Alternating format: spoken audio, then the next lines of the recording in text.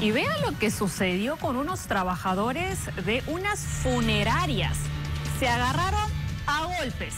¿Por qué? Por un cliente. A estos sujetos poco les interesó el dolor ajeno y armaron tremenda pelea callejera. Los deudos, al ver esta situación, de inmediato ingresaron a las instalaciones de la morgue para evitar salir lastimados. Al final, de nada les sirvió armar tremenda pelea, ya que el cliente decidió contratar los servicios de otra empresa funeraria que no estuvo involucrada en la riña.